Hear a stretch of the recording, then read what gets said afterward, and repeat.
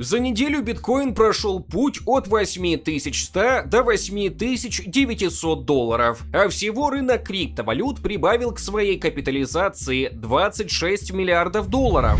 И они нашли доказательства того, что Telegram продолжал продажи токенов уже после завершения ICO. Медведев ушел, а Мишустин на его место быстро пришел. Это я про смену премьеров в России. Своевременная уплата налогов из криптовалют том числе.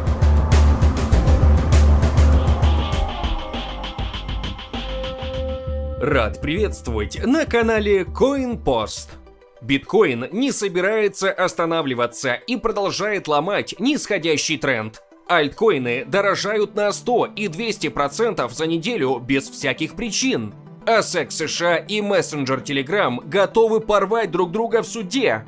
Вот об этом, а также о том, в чем разница между Россией и США в плане принятия криптовалют мы поговорим в этом видео. Прямо сейчас подписывайтесь на наш канал, присоединяйтесь к лучшему криптосообществу на YouTube и нашим планам по захвату мира биткоина. Мы начинаем!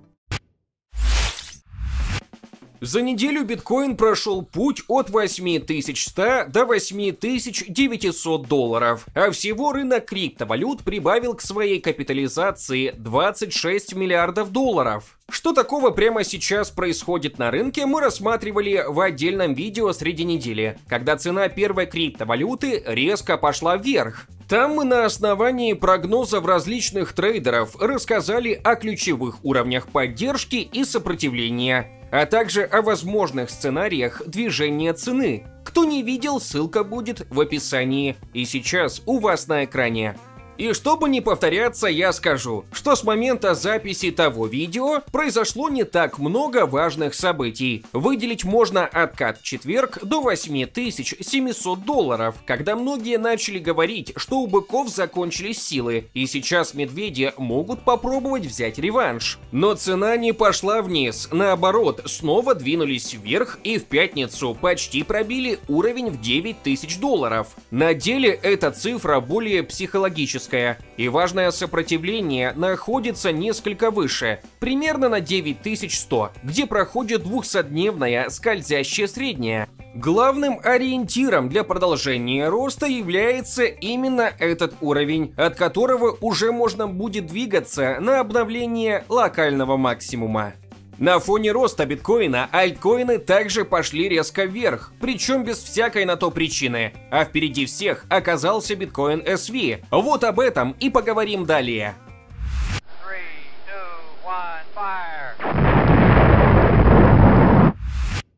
Поздравляю всех, у кого был Дэш две недели назад. Также свою минуту славы на этой неделе получил Ethereum Classic.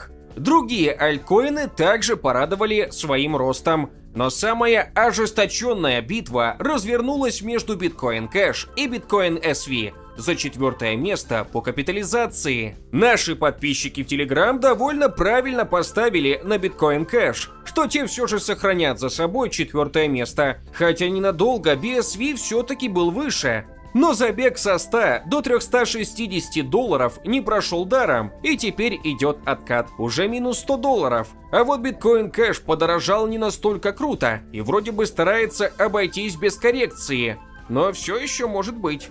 Многие склоняются к тому, что альты на этой неделе специально пампили с целью запустить цепную фому-реакцию, заставив участников рынка быстро переходить в альты, ну а потом порезать их шартами. Но ничего подобного еще не произошло, а вот выстрелы определенных монет вполне можно связать с желанием людей закупиться на дне, ведь если они верят в разворот биткоина, то могут попытаться поймать иксы на росте остальных криптовалют. Что же касается биткоин SV, то причину его взрывного роста хорошо объяснили аналитики из Arcane Research. По их мнению, совпали три фактора, а именно рост биткоина, низкая ликвидность биткоин SV, что упрощает манипулирование курсом, и сногсшибательные новости от Крейга Райта, которые, кстати, похоже, снова оказались фейком. Ведь сначала сторонники Райта порадовались, что ему не нужно платить полмиллиона биткоинов. А потом он заявил, что неизвестный курьер передал ему ключи доступа к кошелькам, на которых хранится 1 миллион и 100 тысяч биткоинов. С точки зрения логики, такая новость никоим образом не влияет на курс биткоин SV. Но он пер вверх, сметая все препятствия, и части его славы хватило даже на такие забытые хардфорки, как Bitcoin Gold и Bitcoin Diamond. А завершение у этой истории вполне ожидаемое, ведь Крейг Райт показал только публичные адреса, на которых хранятся биткоины. Он не провел ни с одного из них ни одной транзакции, то есть факт доступа к этим кошелькам не подтвержден. Более того, нет никакой информации о том, что за курьер, от кого он и почему передал приватные ключи. Есть подозрение, что все это происходило исключительно в голове самого Фейкоши. В итоге Крейг Райт в очередной раз побрил сообщество. Вполне возможно, что и на эти деньги тоже, сыграв на доверии людей. Эх, и почему СЭК США не судит его, а вместо этого мешает выпуску криптовалюты Грамм? О чем и пойдет речь далее.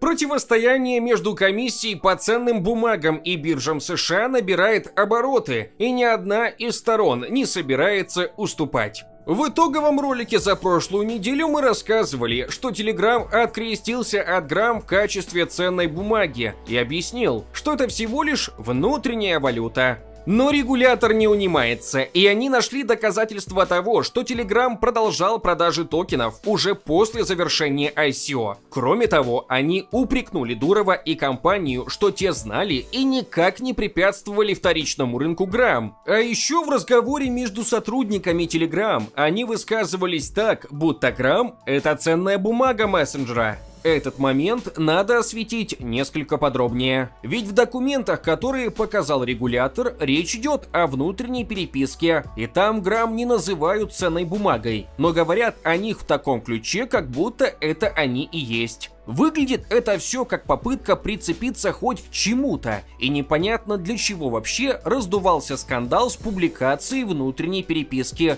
когда есть более веские доказательства, что мы озвучили ранее. Что же касается Дурова и Телеграм, то Павел все-таки дал показания 7 и 8 января в Дубае, и там его не смогли поймать на слово. Он стоял на том, что Грамм является исключительно внутренней валютой блокчейн-платформы Тон и не имеет никакого отношения к мессенджеру. Также позиция компании заключается в том, что инвесторы знали о запрете на перепродажу прав на монеты Грамм до их получения.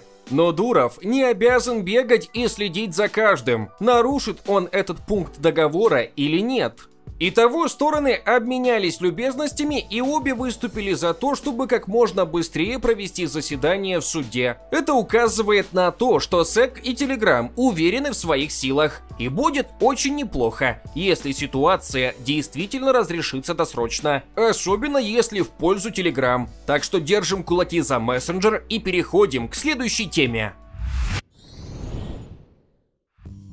Медведев ушел, а Мишустин на его место быстро пришел. Это я про смену премьеров в России. Вдруг кто не в курсе. И хорошо, что нового зовут не Мишуткин, а то я бы уже подумал, что это такая национальная традиция или что их по фамилии выбирают. Но шутки в сторону. Как бывший глава Федеральной налоговой службы Михаил Мишустин на посту премьер-министра собирается вести страну в цифровое будущее. Но в понимании налоговика это самое будущее выглядит как своевременная уплата налогов из криптовалют в том числе. Так что если кого интересует финансовая криптосвобода, то возможно США окажется куда лучшим вариантом. Ведь согласно недавнему исследованию страховой компании Hartford Steam Boiler, 36% американских компаний из сферы малого и среднего бизнеса принимают оплату криптовалютами, а 59 9% купили крипту для собственных нужд.